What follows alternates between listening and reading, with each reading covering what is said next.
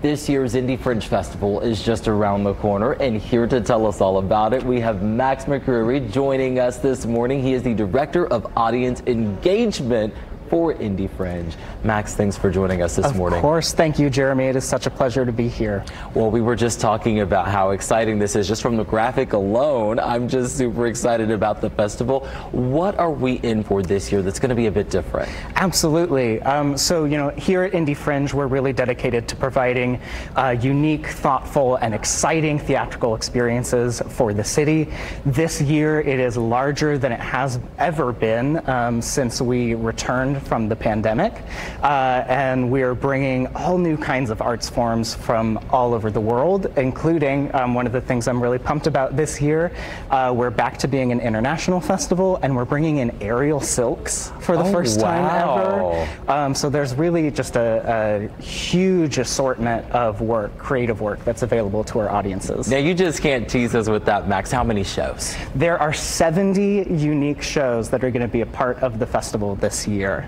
Oh my gosh, you said 70? Mm-hmm, 70 shows, 250 performances over an 11 day period. Geez, so when it comes to that, what types of variety? I know you hinted at a couple already, I did. but I know there are a couple more. I did. I teased it aerial silks and circus just because I think that's a, a, new, fun, and exciting thing that we don't get to see all of the time. Mm-hmm. But we do everything at IndyFringe um, from magic and drag and burlesque to new plays and stand up comedy um, clowning, dance, right? The Indie Ballet participates with us as well as like small individual dance companies coming to us from all over. Now you just mentioned Indie Ballet, but what other venues can we expect to see shows? 100%. Yeah, so this year we're in six venues throughout the city.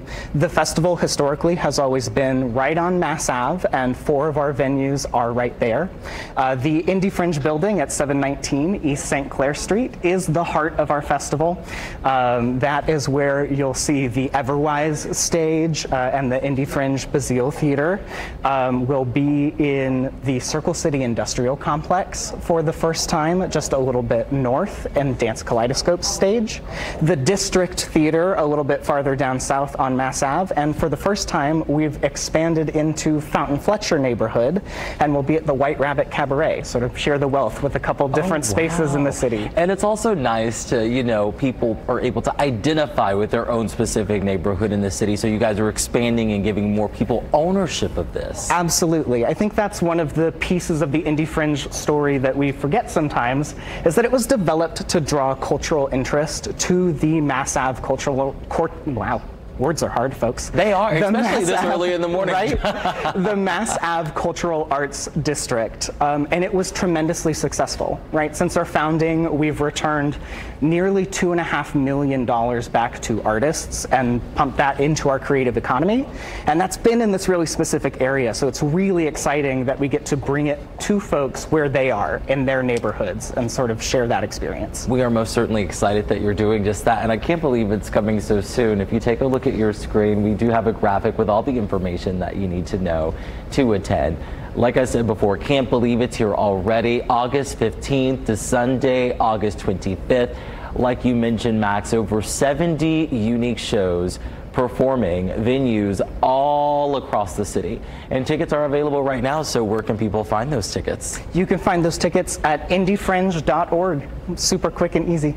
And we'll make it even easier for people who are just tuning in. We'll have all this information on the website. Max, thanks so much for stopping by this morning.